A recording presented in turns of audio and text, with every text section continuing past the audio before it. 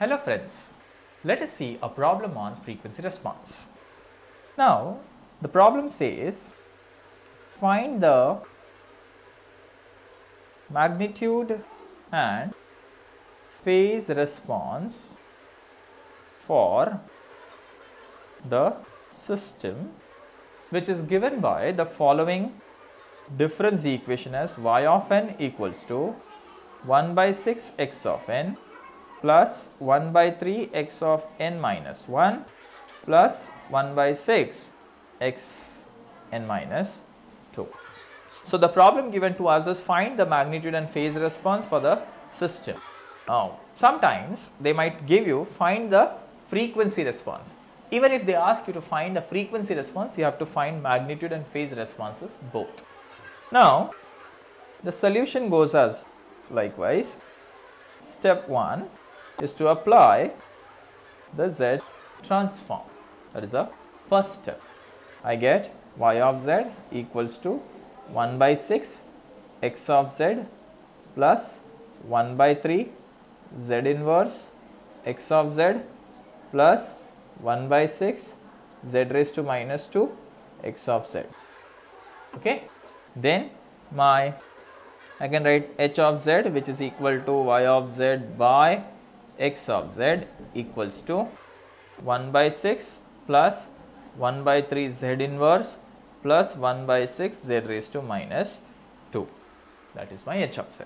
So, just rewriting h of z, h of z is equal to 1 by 6 plus 1 by 3 z inverse plus 1 by 6 z raised to minus 2. So, this is what I have achieved as my h of z. So, step 1 is to apply z transform and obtain the transfer function.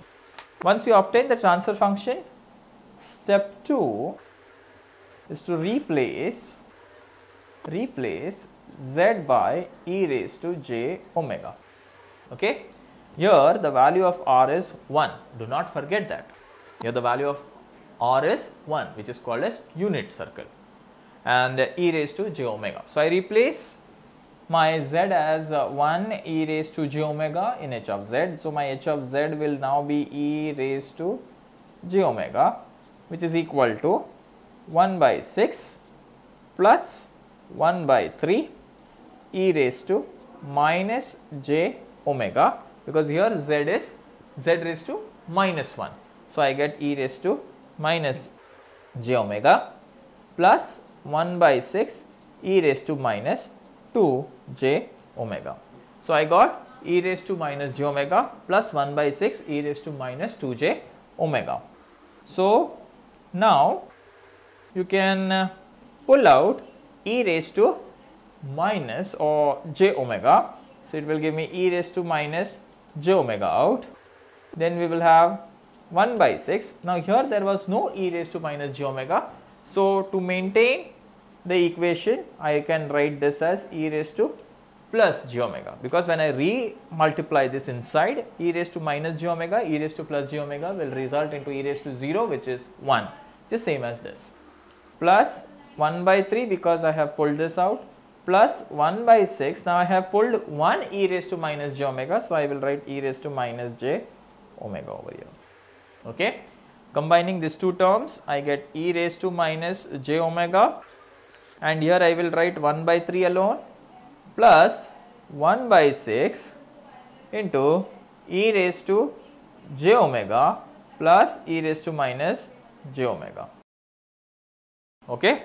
Now, just to recall, just to recall cos theta is equal to e raised to j theta plus e raised to minus j theta by 2. Now, can you similarly find this equation? Instead of theta over here we have omega and we do not have divide by 2. So, if I multiply and divide this equation by 2 then I can easily replace e raised to j omega plus e raised to minus j omega into 2 cos omega or I can replace this like this I can make this 2 go here. So, 2 cos theta is e raised to j theta plus e raised to minus j theta.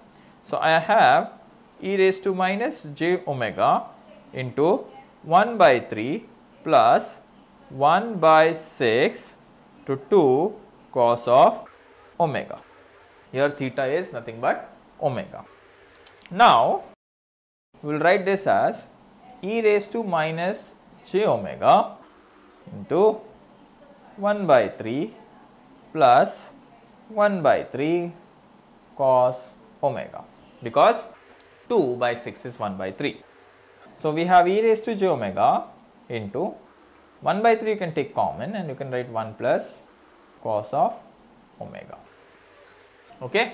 This is my h of e raised to j omega. Now, h of e raised to j omega is a this term is a complex number. Now, this complex number I can write as a magnitude and a phase.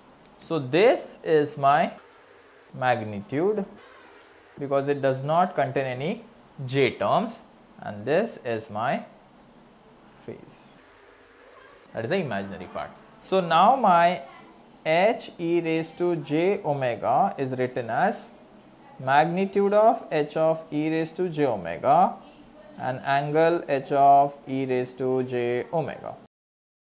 Okay. So, now my magnitude response is magnitude of e raised to j omega comparing this with this equation. This is my magnitude which is 1 by 3 into 1 plus cos omega and angle of h of e raised to j omega is nothing but minus omega. So, this is my magnitude response and this is my phase response. So, to summarize whenever a problem is given to me step 1 I will apply Z transform, step 2 I will replace Z by e raised to j omega. I will rearrange and adjust such that I will get a magnitude response and a phase response. Thank you.